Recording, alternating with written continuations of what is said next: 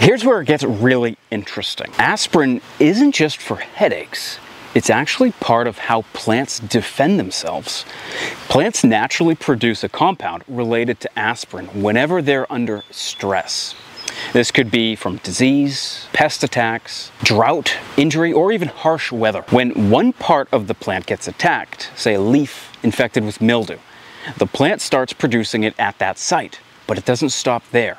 That chemical gets sent through the plant's internal highway system, moving through its veins, so to speak, to warn the rest of the plant. Once the signal reaches other leaves and stems, those parts start flipping switches. The plant begins pumping out defensive compounds like antifungals, and antimicrobial chemicals.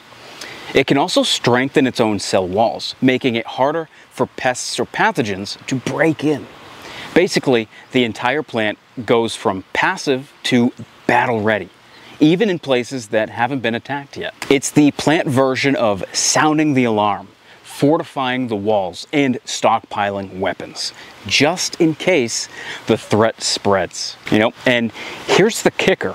Using aspirin on certain plants can trigger that same defensive response, even before a disease or pest shows up.